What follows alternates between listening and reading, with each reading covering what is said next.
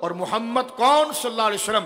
هو الذی یحمد حمدن بعد حمدن محمد اس کو کہتے ہیں صلی اللہ علیہ وسلم، جس کی تعریف یک بعد دیگر بار بار بار بار کی جائے۔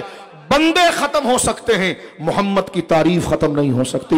صلی اللہ علیہ وسلم، کیونکہ محمد کہتے ہی اس کی ہے جس کی تعریف کبھی ختم ہی نہ ہو۔